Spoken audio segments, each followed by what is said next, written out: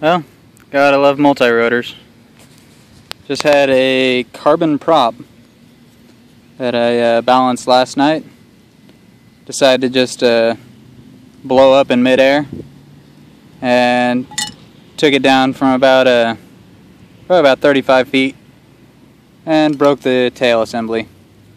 So, gonna have to wait for another one of those and guess look for uh, some better props because apparently these Gemfans uh, aren't made for these motors or something. Uh, I'll see if I can uh, recover the footage from the GoPro. But yeah, not sure. Haven't had that happen before in midair. I've had it happen on a crash, but never had a prop just to explode. And I didn't expect this from a carbon prop. I was thinking a uh, carbon would do a lot better. That's why I got away from the nylons and carbon nylons. Trying to make something a little more reliable, but doesn't seem that way.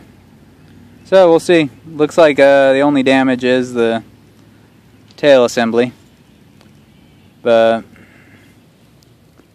we'll go from there. Yep, everything else is good.